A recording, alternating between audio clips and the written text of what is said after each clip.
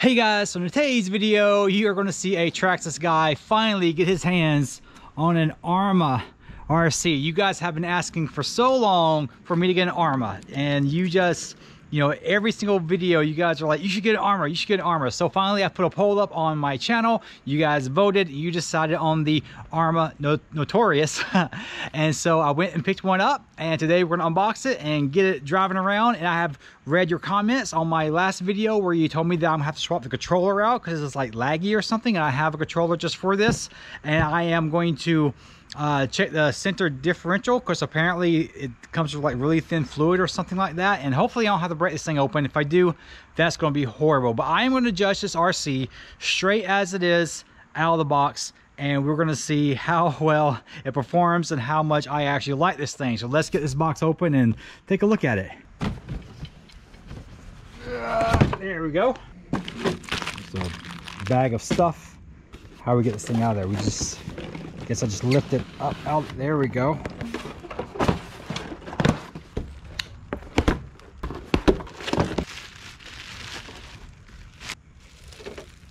Peel back the plastic.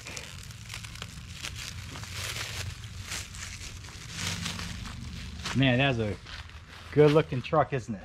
Stickers are peeling off of it already but let's get those back on there. So here it is. And the first thing I notice all the stickers pretty much need to be pressed down onto the body. So that's, I don't know what that's about, but they all are just kind of coming off of the body for some reason. I don't know if they were not put on very well or, or what, but you can see they're lifting up on the edges in some places. So it's been killing something. I don't know what it is. Kills wheelies? I don't know. But it's a pretty good looking body. I like that matte finish on it. It's pretty good. The wheelbase is a lot shorter than I thought it was going to be. It's a very short wheelbase. Kind of don't like the way the chassis drops down below the truck body all that much. That looks kind of odd to me for whatever reason. I don't know. It's pretty cool. I like it. Big wing on back of it. And wheelie bar, those are oh, those are rubbery. That's unexpected. That's pretty cool. So, and just already turning it like this, that servo feels different than all the other servos, steering servos on my uh, Traxxas RCs. Well, I think it's pretty cool. Let's get this body off. Body pins, what are these? What are those? so I haven't dealt with body pins in quite a while. I know I ran my TRX4 the other day and it has body pins on it, so usually I'm afraid I'm gonna break the little rubber piece on there. So that's ah that's much harder than it should be. Seriously? Come on. You have got to be wow okay got it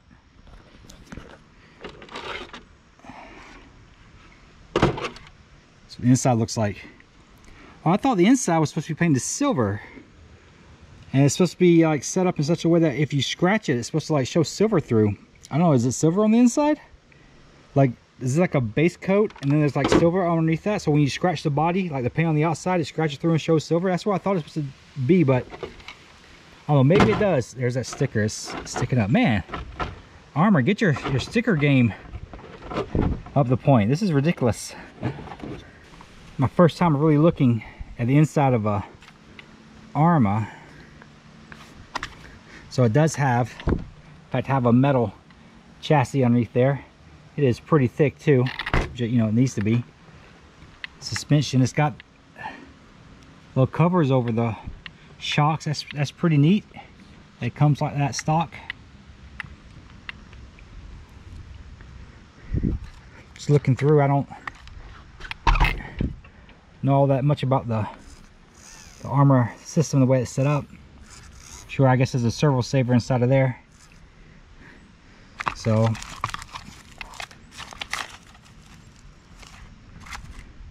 That's cool and brace bars and everything. So.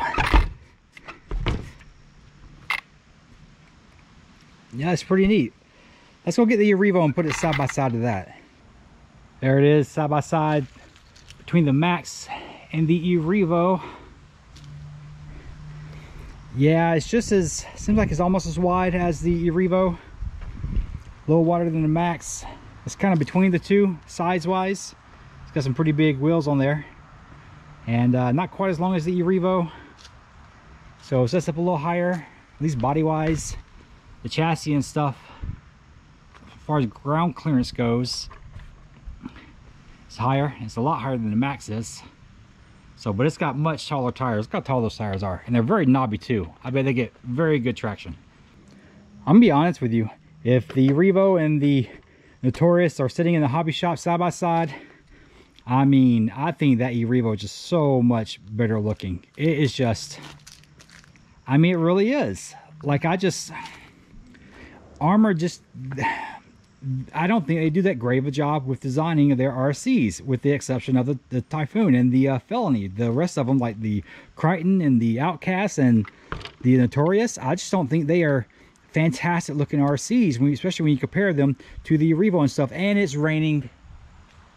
Oh, good. It's raining. Look at that.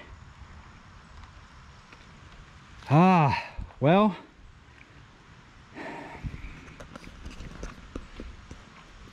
it's raining. I guess that's the end of the video. It is it's actually okay i gotta get the stuff in. Everything is wet now.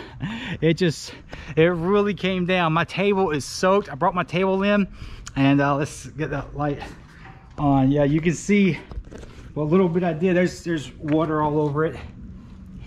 Everything is wet I uh, I guess the Traxxas guys are not pleased at my offering. they were not happy at all, and they decided to rain on everything. I don't know. Should I try to run it anyways in the in the rain? I mean, it's not raining right this second, and that's how it was. I'm, I'm filming, and then it started to rain, and I'm like, I've got to get everything inside and then when I did that, it stopped raining for a moment. And now I'm like, well, maybe it's just a little bit and I'll still run it. So then I start bringing everything out for the, um, for the thumbnail and it started raining again. And then I'm taking pictures for the thumbnail and it just starts raining more and more. I start rushing and getting everything in, then it stops again. And so I have a feeling when I bring the Notorious out, it's gonna start raining again. Didn't rain that much. Uh, if it's raining at all, I'm not bringing my ramps out here. I don't wanna get them wet. And uh, I don't know. Let's let's try to run it and see if I can get anything done. Please, Traxxas guys, be kind to me today. All right, we're getting this battery in this thing. This is the first time I've ever tried to put a battery into an Arrma. Don't know what I'm doing. I'm gonna edit a lot of this because this is super entertaining content. Watching some guy struggle with a strap for a battery. There we go. All right. So it's not so bad. Let's go ahead and turn the controller on. Plug this in. Power it on. Oh, woo! it does a wheelie right away. It's pretty cool. Oh, that controller is laggy. Wow. I see what you guys mean. That is, that's like, un, that feels so horrible. Wow. That is beyond, I, I don't even know how to describe it. It's distracting. It's, it's so, the, the steering is so laggy that it's distracting. it's hilarious. It is hilariously bad. That's how I'll describe the steering.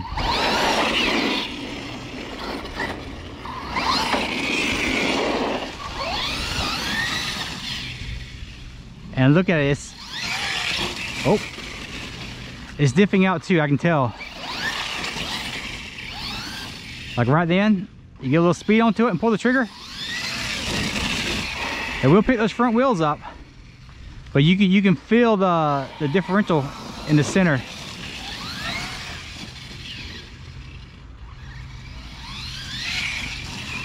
Man, Arrma is not making a good first impression, I gotta tell you. Does got a lot of power to it at least. I left some leaves out here so I could play around in them.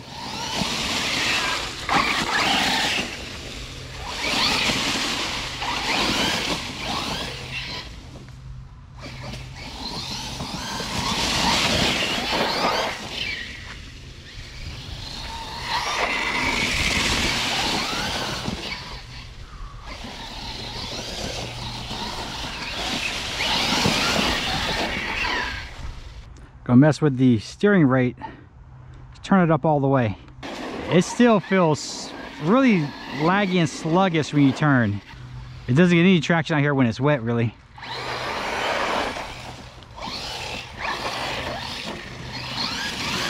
And when it does, it just it just diffs out. Like right there, I can feel the, the front wheel spinning faster than the rear wheels by a good margin.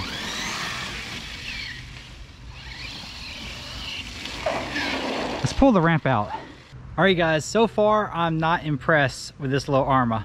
It, uh, it has plenty of power, I can feel it, but whenever those front wheels come off the ground, I can really tell that it loses power to the front wheels.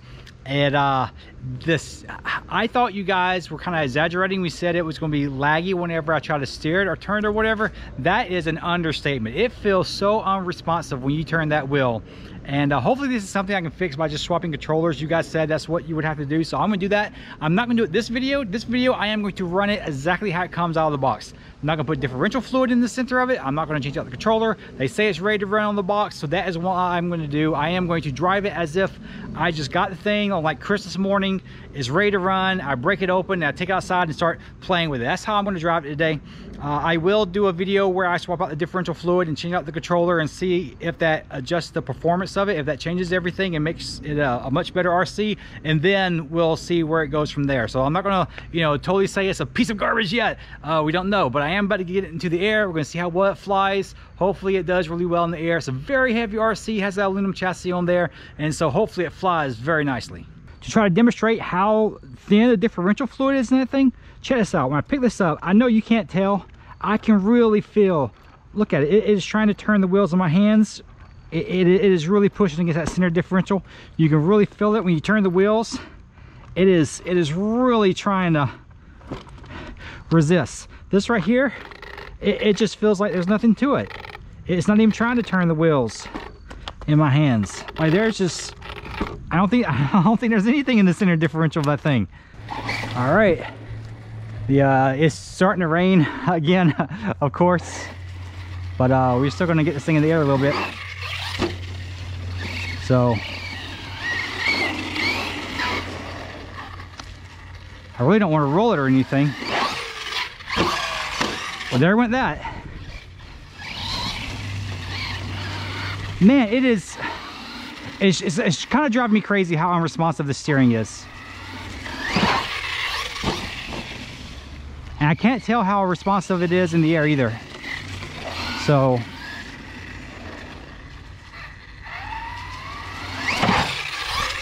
it is even the throttle is unresponsive in the air. So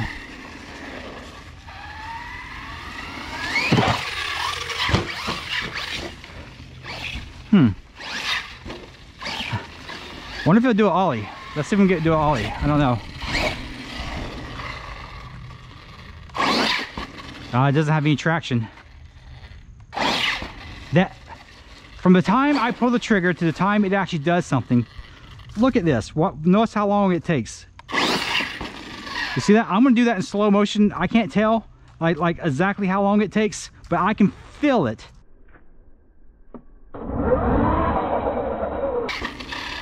That makes me wonder if I can pull the trigger and let go of it before it even moves.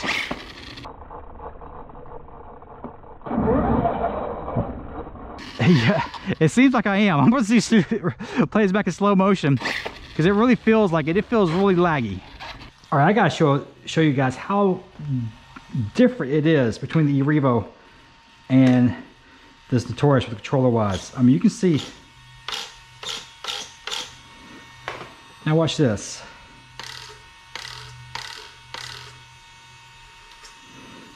And let's try to turn them both at the same time, see if I can pull this off. I'm gonna slow it down in the video.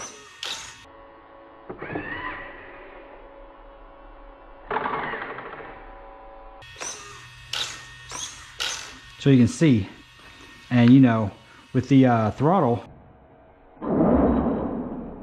you can see when I pull the trigger versus when it goes. Watch this.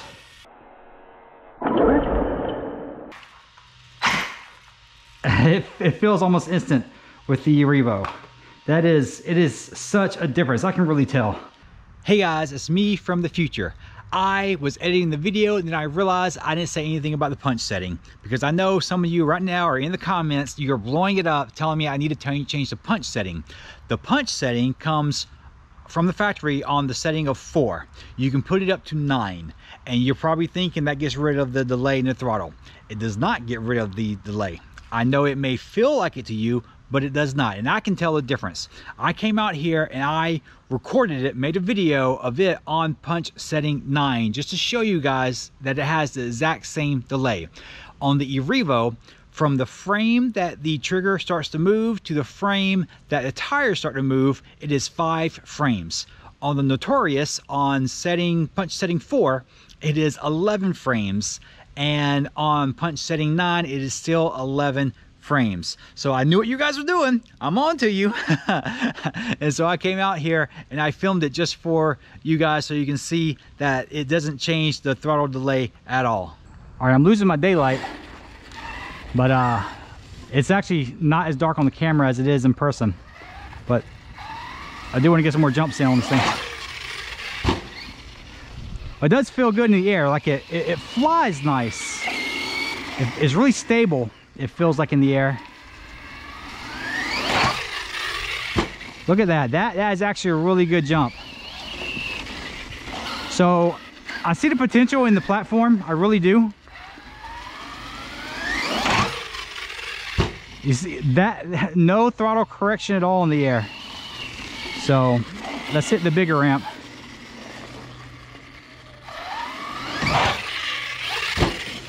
So I did have to correct it there, but it almost didn't work because I had I cannot react when it needs to be reacted to. That that terrified me. I I I, almost didn't save it just then. Uh, it is man. Let's see if I can do a flip. I know they'll do flips. Let's. I, this I'm so nervous doing this. Whoa, this thing flips fast. All right, let's get maybe one or two more flips in. I am so nervous doing this. That, that lag is unacceptable. It really is. Like Arrma, you guys, I hope with that new Spektrum equipment that comes with the uh, Arrma RCs, I hope it solves that problem. I really do that it, I, I, cannot react as fast as it needs to be reacted to. It's just, it's just that simple. It is, I, I don't know how else to put it. I, I, I don't want to flip it because I cannot react fast enough to, to save it.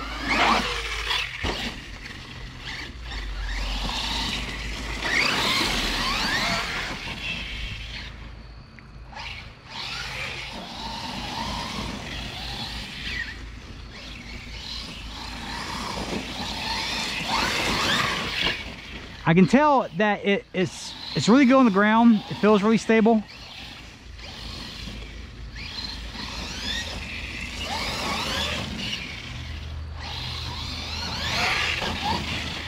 It's got lots of power.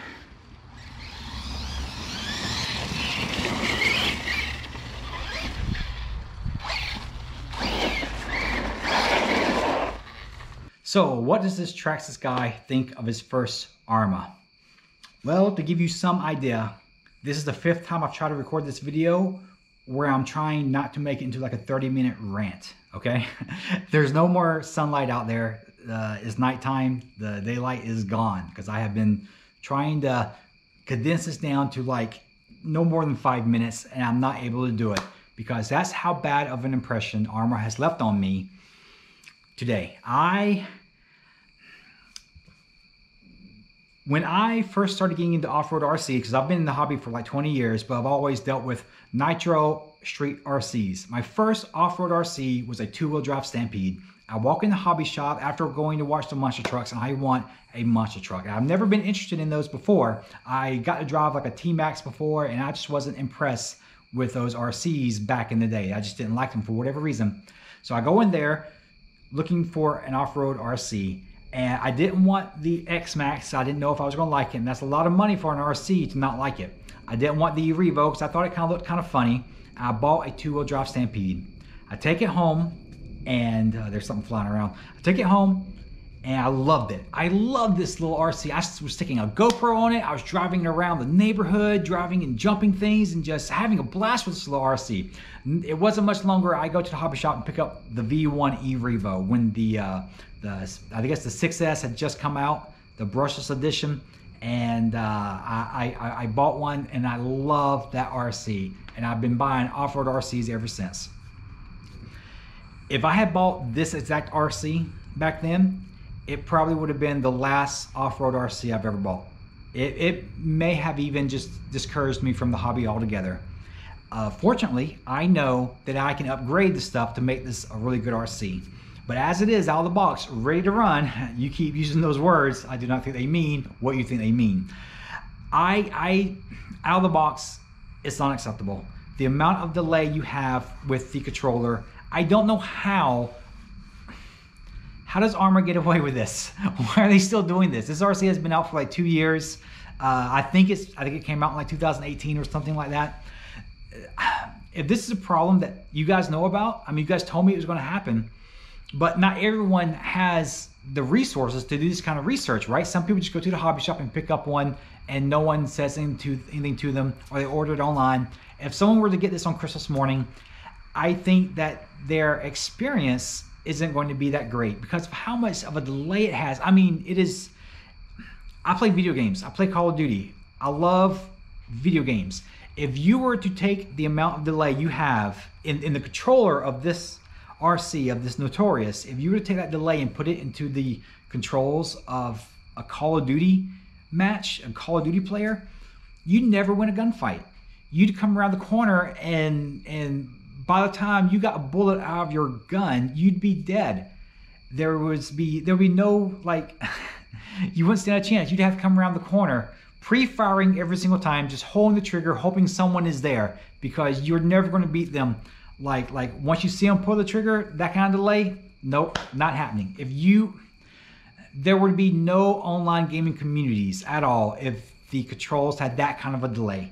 It just wouldn't be a thing. I just this is unacceptable to me. It really is. I, I hope that the new electronics that the Arrma come with solves this problem. I don't know that it will. You know, as soon as the Spektrum RCs come out, the Spektrum uh, electronic Arrma come out, maybe I'll look at those. The the Typhon that I plan on getting, like if it comes with those, I'll pick it up. But I don't know.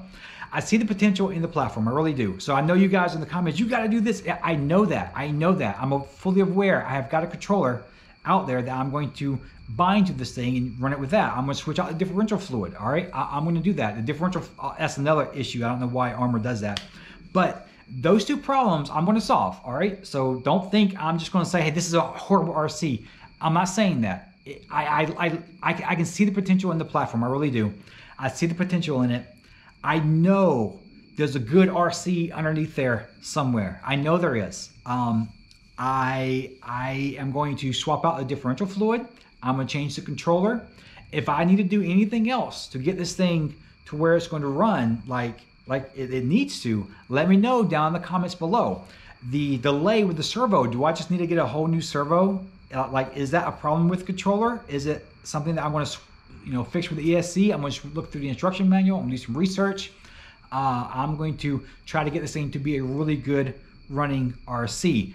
That's not the intent of this video, all right? This is a very strict day that I get the RC, let's see how it runs kind of video. That's what this is. So don't go off in the comments, oh, I know, I, I know. I'm not completely disappointed with it because I, I do realize that there is a really good RC underneath the bad of this RC. There's a lot of good. I mean, I, I, I like how it's built. I really do. I, I, I, like how it flips. It flips so fast. It's a very, very fast flipping RC because the wheelbase is so short. I see the potential of it being a great stunt truck. I really do. I landed on the nose. There's paint on the outside of that body.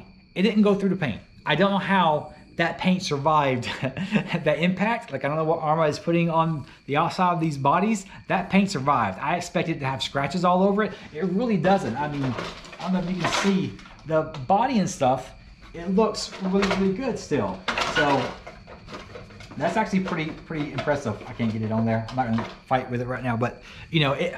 I know there's great RC underneath there, and I plan on getting this thing figured out and then I'll do a video of me upgrading it and things like that and getting it out here on a nice dry day and see how it runs. I'm really looking forward to it. By the way, if there's a downside to me changing the differential fluid, like am I going to start breaking drive shafts? Let me down. Let me know in the comments down below if there's a downside to it, because lots of times whenever you change something like that, you know you can make a weak point appear somewhere else. You know something else is going to go wrong. So let me know down in the comments below if there's something else I need to do or something else I need to be aware of. So, but that's all I got for you today, guys. This video is going to be long enough as it is.